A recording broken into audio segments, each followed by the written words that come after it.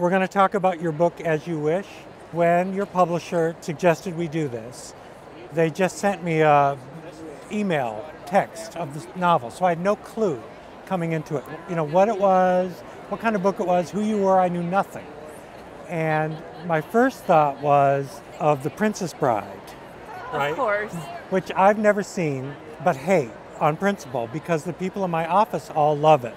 And they say to each other, as you wish and give each other this knowing look. I'm like, oh God, not Princess Bride, fan fiction. I don't think I can stand it. So, but then I'm reading it and I'm thinking, oh, so it's this probably junior high novel about teens who get wishes and learn that wishes aren't they're all cracked up to be.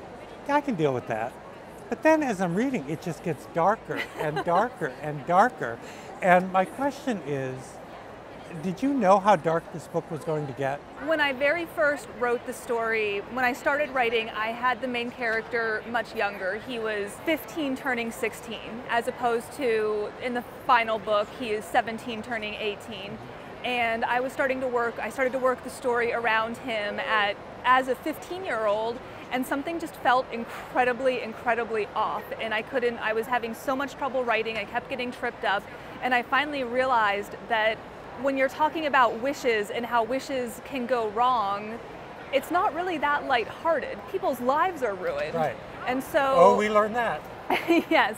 I realized I can't have this be a 16th birthday because even the difference between that was 16 your original plan, yes, that at 16 they Right. would get their wish. the difference between 16 and 18 is really quite huge. You grow a lot in that time period. And so I aged the characters up and had this wish day be during their 18th birthday and it sort of meshed with the story better and I was sort of able to have that darkness and not have such writer's block getting hung up on uh, the story just not working quite right.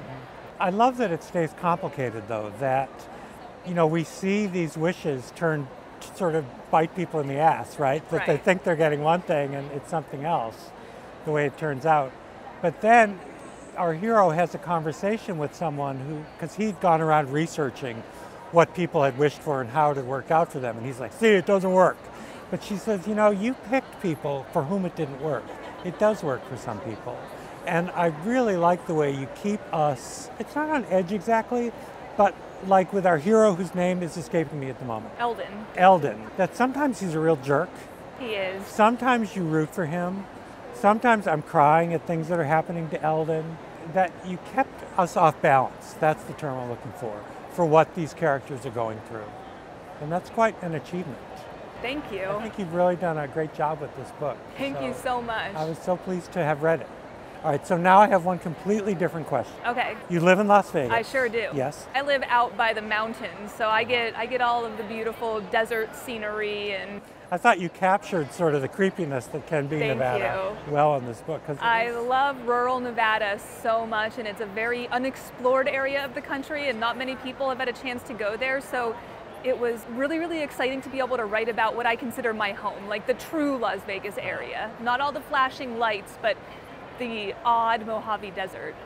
I remember stopping at a truck stop once in the Mojave Desert, and you know the wait waitresses all had little name tags. So there's like Joan, Jane, Witchcraft.